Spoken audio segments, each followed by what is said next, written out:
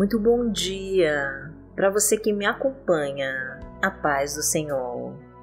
Eu sou Vanessa Santos e que nessa manhã Deus possa estar tocando o teu coração e te trazendo uma mensagem de força e de coragem.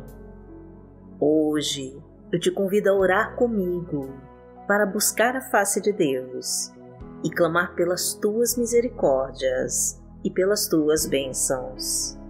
Vamos unir a nossa fé numa única voz e desfrutar deste momento na presença do Senhor. E se você ainda não se inscreveu no canal, se inscreva agora para não perder os próximos vídeos. Deixe seu like para ajudar o canal a levar a palavra do Senhor para mais pessoas. E compartilhe este vídeo com todos que você ama.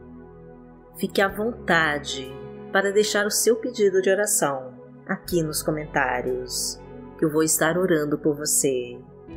E vamos profetizar com fé a nossa frase da vitória. Senhor, traga força e a coragem para vencer, em nome de Jesus. Repita novamente para concretizar a sua bênção. Senhor, traga força e a coragem para vencer, em nome de Jesus.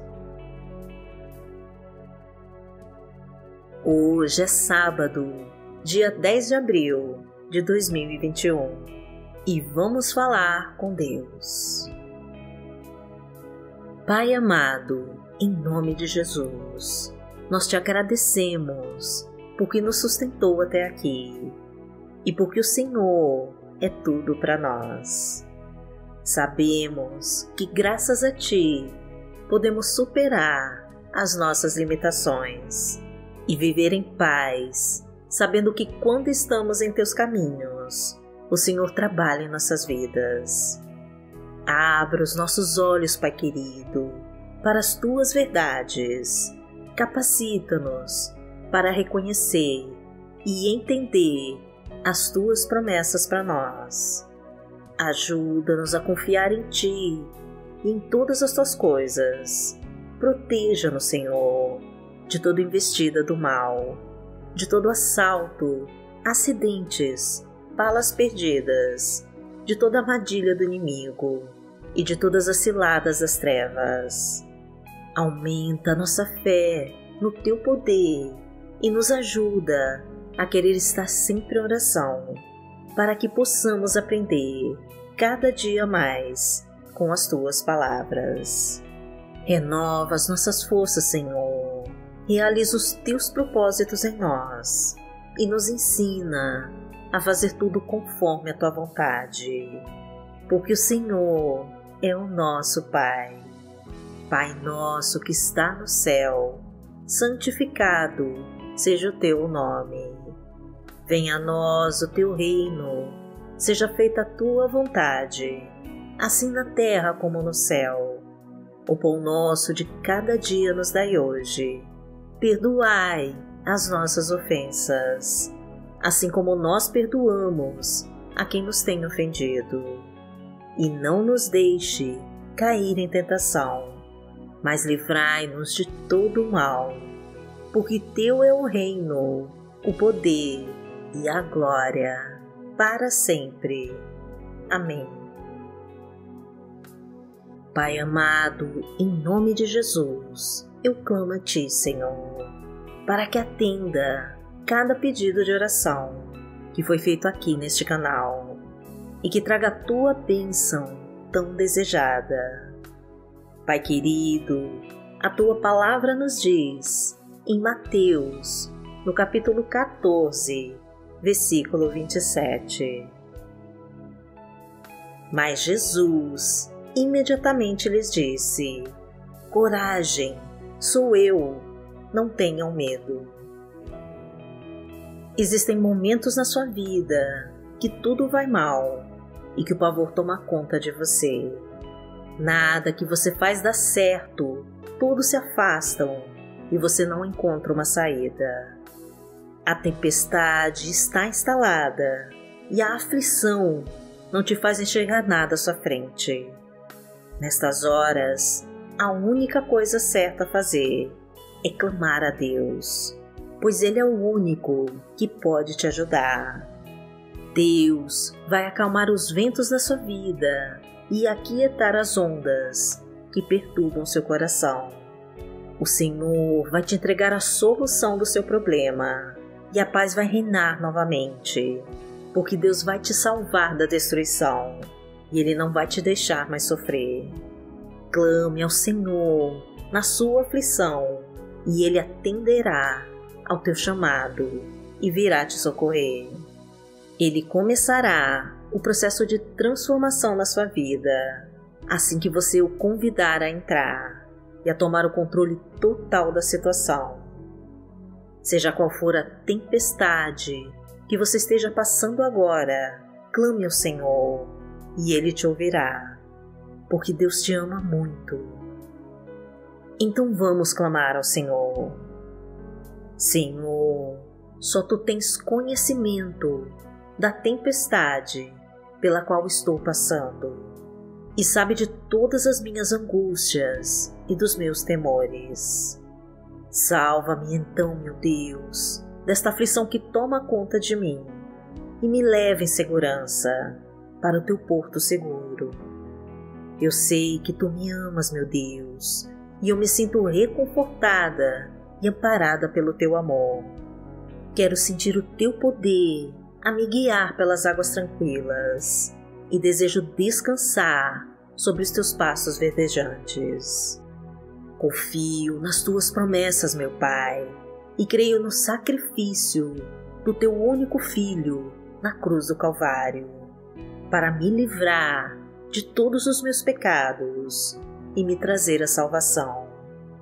Por isso, meu Deus, eu te entrego a minha vida e o controle de tudo o que tenho em tuas mãos e me rendo ao poder do teu Espírito Santo, para que seja feito tudo segundo a tua vontade, que é boa, perfeita e agradável. Por isso eu descanso em ti, Senhor, e me sinto tranquilo e feliz, porque sou amada e consigo sentir todo esse amor que derrama em mim. E agora eu te peço, Pai querido, em nome do teu Filho Jesus, que interceda em favor deste irmão e desta irmã que me acompanha agora em oração. Visita agora ele, Senhor, entra na tua vida e abençoa a sua casa e a sua família. Toma tudo o que ele tem nas tuas mãos e pega a direção do seu barco e leva ele a águas tranquilas. Acalma a tempestade do seu coração, aquieta suas emoções, silencia todo o barulho da sua mente e faz ele escutar a tua voz. Afasta todas as suas dúvidas, elimina todo o seu medo e transforma esta insegurança na certeza da realização das suas promessas. Desfaz, meu Deus, com toda segurança dos teus sentimentos e equilibra suas emoções. Traga fartura para sua mesa, meu Deus. Abençoa de provisão a sua casa. Concede o sucesso dos teus projetos. Prospera os teus planos e traga provisão através de um trabalho abençoado que o capacite a sustentar a sua família e a crescer e prosperar. Porque o Senhor é o meu pastor, nada me faltará. Deitar-me faz em verdes pastos. Guia-me mansamente a águas tranquilas. Refrigera minha alma. Guia-me pelas veredas da justiça, por amor do seu nome. Ainda que eu andasse pelo vale da sombra da morte, não temeria mal algum, porque tu estás comigo. A tua vara e o teu cajado me consolam. Preparas uma mesa perante mim, na presença dos meus inimigos. unges a minha cabeça com óleo, o meu cálice transborda. Certamente que a bondade e a misericórdia me seguirão todos os dias da minha vida e habitarei na casa do Senhor por longos dias. Pai amado, em nome de Jesus, coloca as tuas mãos de poder na vida desta pessoa que me acompanha em oração e destrói com todas as correntes que o aprisionam e que o impedem de andar para frente.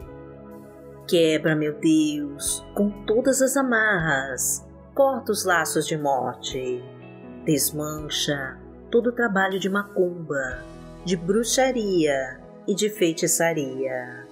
Tira setas de inveja e repreende todo o poder de Satanás da sua vida. Em nome de Jesus, toda obra do maligno é quebrada da sua vida. E em nome de Jesus, todo mal parte em retirada da sua vida. Porque aquele que habita no esconderijo do Altíssimo, a sombra do Onipotente descansará. Direi do Senhor, Ele é o meu Deus, o meu refúgio, a minha fortaleza, e nele confiarei. Porque Ele te livrará do laço do passarinheiro e da peste perniciosa. Ele te cobrirá com as suas penas, e debaixo das suas asas te confiarás. A tua verdade será o teu escudo e broquel. Não terás medo do terror de noite, nem da seta que voa de dia, nem da peste que anda na escuridão, nem da mortandade que assola ao meio-dia. Mil cairão ao teu lado e dez mil à tua direita, mas não chegará a ti. Somente com os teus olhos contemplarás e verás a recompensa dos ímpios. Porque tu, ó Senhor, és o meu refúgio, no Altíssimo fizeste a tua habitação.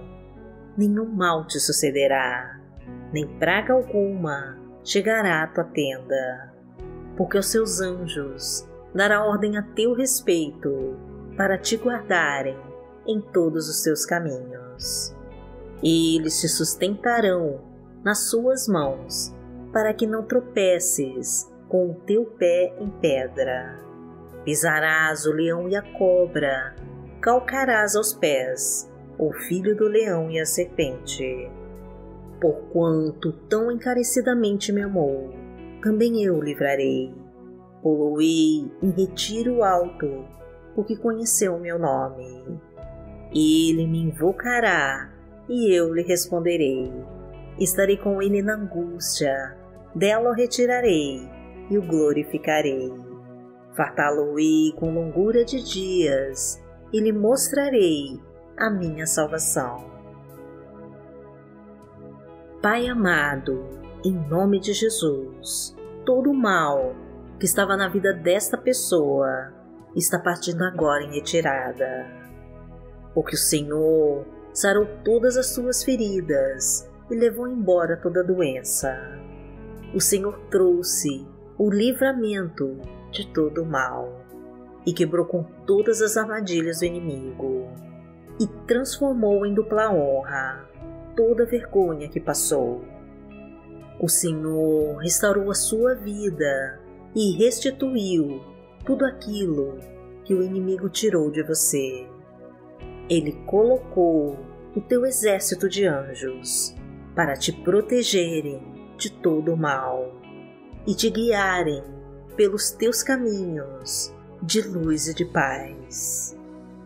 E por tudo isso, nós te agradecemos, Senhor, e te louvamos eternamente. Em nome de Jesus. Amém.